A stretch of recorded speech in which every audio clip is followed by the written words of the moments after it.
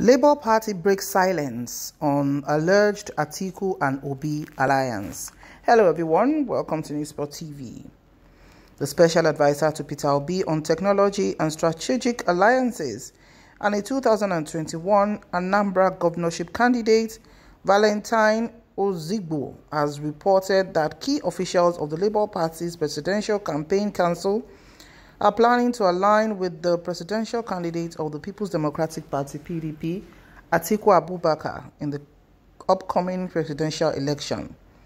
He said the reports that party leaders met on Monday at a top hotel in Abuja to discuss moves aimed at aligning with Atiku is false news.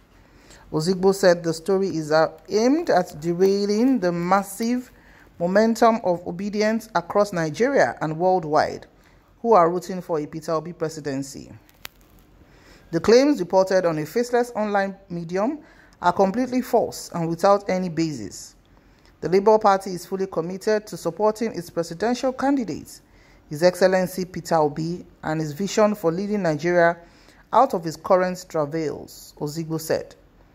We firmly believe that Peter Obi is the best candidate for the presidency with a track record of solid leadership and a clear path for addressing the significant challenges facing our country.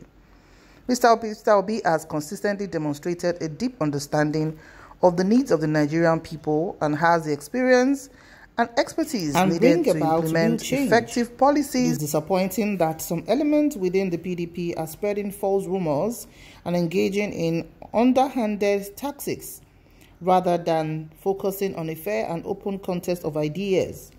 This unprofessional conduct indicates their fear of fair competition and lack of confidence in their own candidates' abilities, the multiple award-winning global CEO said. On the likelihood of any candidate stepping down for the other, Ozigbo maintains that while he will not wish to join issues with either the Atiku or Tinubu campaigns, who are gleefully circulating the falsehood, he would also not disrupt the current brickbats between the APC and PDP over allegations and counter allegations of corruption between them. Ozigbo said he believes that for Nigerians to have a clean break from its ugly past, those alleged to be culpable in undermining Nigeria's progress and the prosperity of our country may consider it needful to step aside for Peter Obi in the best interests of Nigeria's future.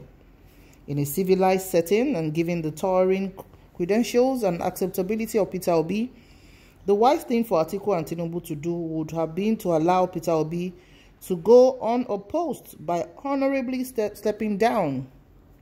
But if they insist on continuing, they should be ready to accept their fate at the polls, Ozigbo added. For the avoidance of doubt, Obi remains the frontrunner in this 2023 race. His two main rivals continue to trail him in the pre-election With polls. all major demographic across winning. Nigeria in every single poll conducted, even those commissioned by APC and PDP. Peter Obi is an Njima, a truly inspirational leader who has the backing of the Nigerian youth and all Nigerians who love our country and wish for the best.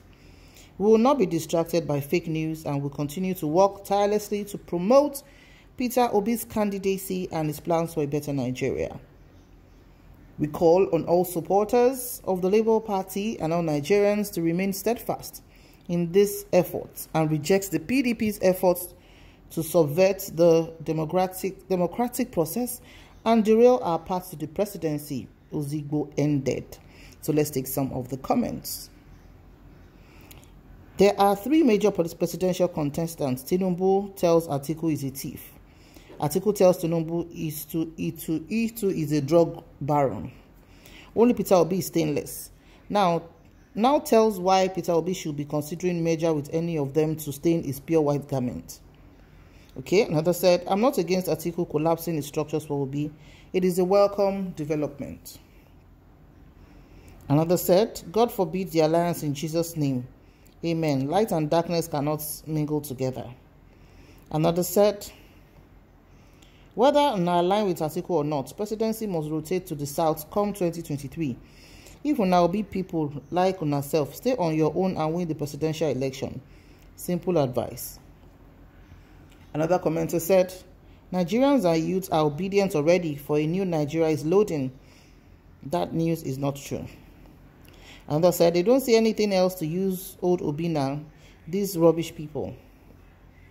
Another said, yeah, yeah, the smell. Obidati 2023 loading. Another said, no LP, no PVC, Obidati our choice. Another said, what concerns darkness and light? When there is light, darkness disappears. Obidati is the light for a new Nigeria. Nigerians will not fill an old bottle with a new wine. Obidati is a new one in a new bottle. A new Nigeria is possible.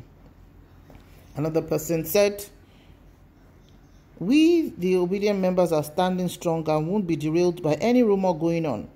We are ready to witness the outcome of the February 25th presidential poll. Another one said, The alliance can work partly only if Atiku will collapse his party to Labour Party and recognize Obi as the current president of Nigeria come 25th of February. Another person commented, Obi is not the solution to Nigeria's madness or problem. To me, Obi is trying to replicate what Buhari has done by lying and is deceitful to the country. Those are in Labour Party. They are not former PDP. Those who are in Labour Party, are they not former PDP members? Is Doyin Okupe an angel or Osuntokun? What about that man from Edo? I've forgotten his name. Is he an angel too? No. They are all evil. Don't forget Barry in 2015 when before he won. Today is story till today. So Obi is not a solution at all at all.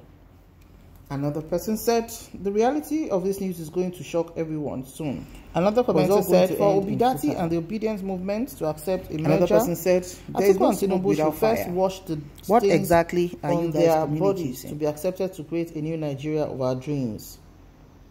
Another person said, let them continue carrying fake rumor. All I know is that I will continue being useful and obedient, period. Another said, how on earth did you people believe that a party that doesn't have a single councillor in any local government or any state in Nigeria can win presidential elections? Don't deceive yourselves. Go and Atikulate before it is too late. The election is around the corner. Less than a month.